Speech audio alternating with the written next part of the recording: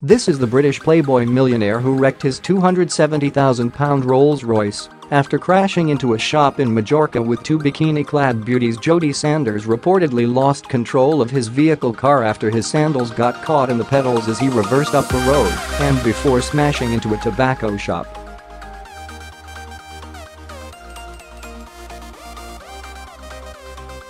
Locals said he vanished with his two young female friends before traffic cops arrived to breath test him, abandoning his badly damaged Rolls-Royce Dawn Coupe.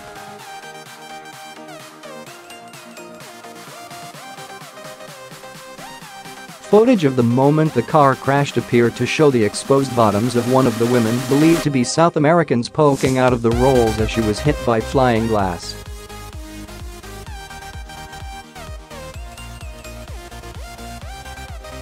Sanders, thought to be in his 30s and from Warwickshire, flaunts his wealth on social media, with pictures showing him swigging from a bottle of champagne at the wheel of an expensive car thought to be the one he crashed in.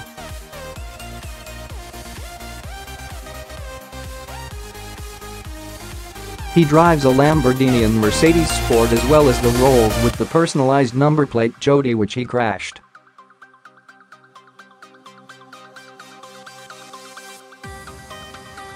Sanders, who makes no secret of his well-honed body with a string of photos showing off his rippling stomach muscles and biceps, is thought to divide his time between a mansion in the UK and a luxury villa on Majorca, near the crash scene.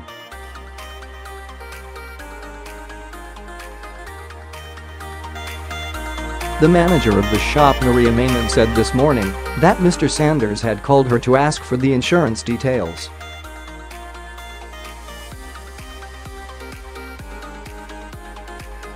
She said he was very polite and asked for the insurance details so he could start sorting things out with them.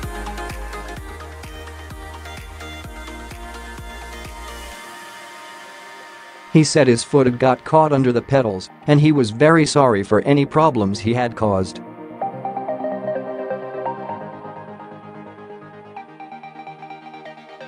Another local, who asked not to be named, said, We're hearing he could be let off with a fine for dangerous driving, and that will be the end of the matter as far as police are concerned.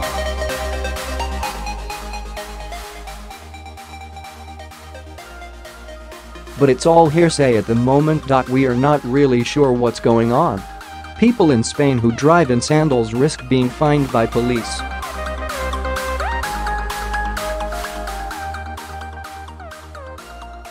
Wearing sandals is not specifically banned, but if traffic cops feel a driver's footwear is potentially dangerous and flip-flops and high heels usually come under that category they can impose fines of around 70 pounds.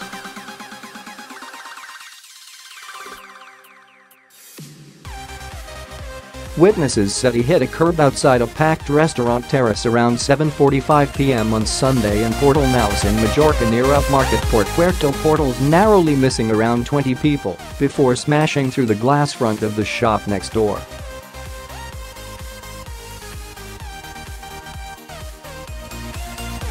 Jose Martin, manager of a restaurant near the crash scene, said, We saw the car pass a few minutes earlier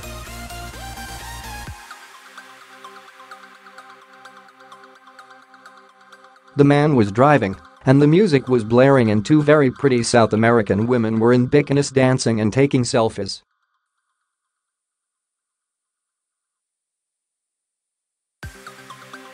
They pulled into the car park of a supermarket that was closed just down the road and were sat there for around five minutes.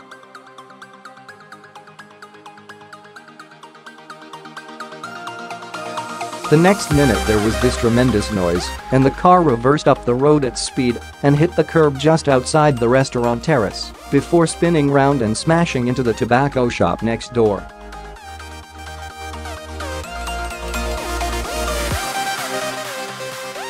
If he had hit the curb a few seconds earlier we could have been looking at a major loss of life.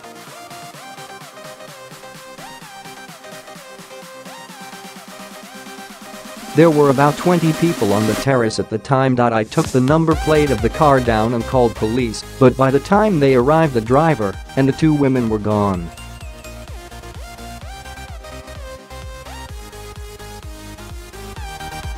They seemed initially to be in a state of shock and they were covered in glass from the broken shop window.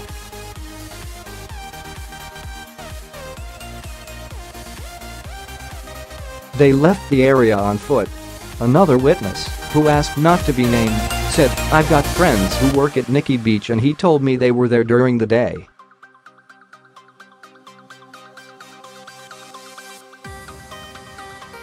The driver looked the worse for wear when he got out of his car. Shock is one thing, but he seemed to me to be high on drink and possibly something else.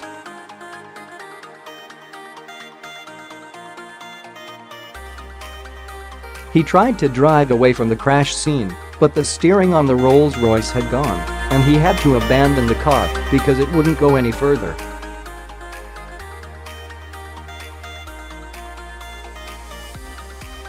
A spokesman for Calvia Council, which covers the Portals Nous area, confirmed local police had been called to an incident in the village of Puerto Portals on Sunday evening.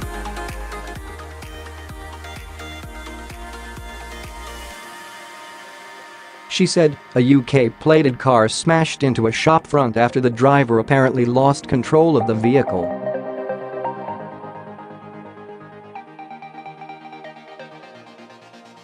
No other cars were involved in the incident. A civil guard source said yesterday morning, we are still searching for the driver and two women who were in the car with him.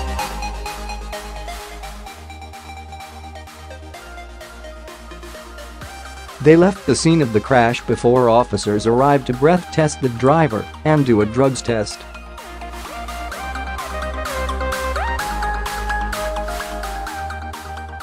The source said, the paperwork in the car didn't quite match the number plate, so that's another thing the driver will be questioned about when he is tracked down.